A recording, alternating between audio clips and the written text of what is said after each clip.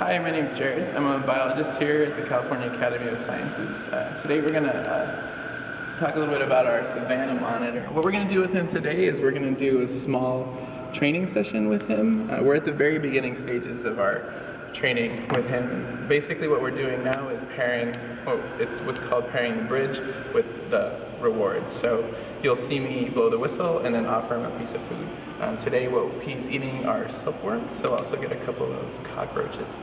Uh, basically the whistle tells him that um, food is coming. And eventually when we get down the road and we're um, more into the training program, he'll know that the whistle means that he did something right.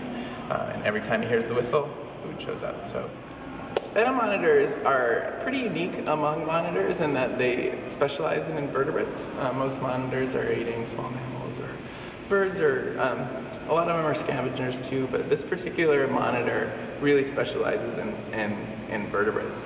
Uh, so that's uh, that's why we're that's why we're feeding him. His diet here consists of crickets, roaches, um, all different kinds of worms, uh, silkworms, hornworms, earthworms. I don't think he's ever refused anything we've ever given him. They're big eaters. Uh, they like to eat a lot. Uh, one of the things that we do need to watch for with him is that Savannah monitors have a tendency to be overweight in captivity, so that's something we're staying on top of.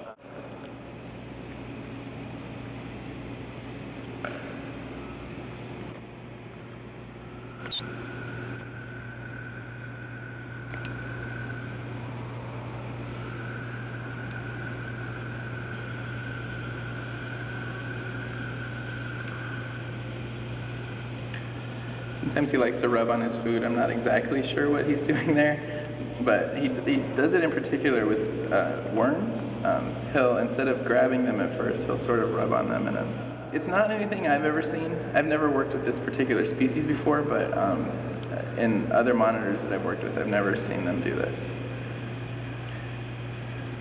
This monitor is fairly unique in that they, they kind of specialize in invertebrates. Most monitors are eating small mammals and things like that, but um, Savannah monitors are, eat almost exclusively invertebrates.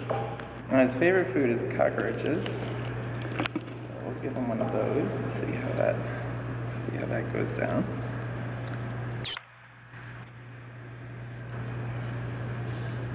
And sometimes they get away from.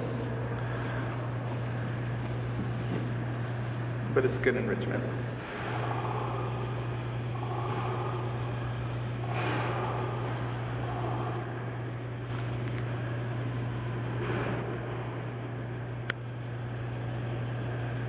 And it is good for him to have an opportunity to sort of hunt his food. Um, we kind of stack the deck in his favor by using the forceps, but live food is always good for them. Um, it gives them an opportunity to um, sort of use their wild skills.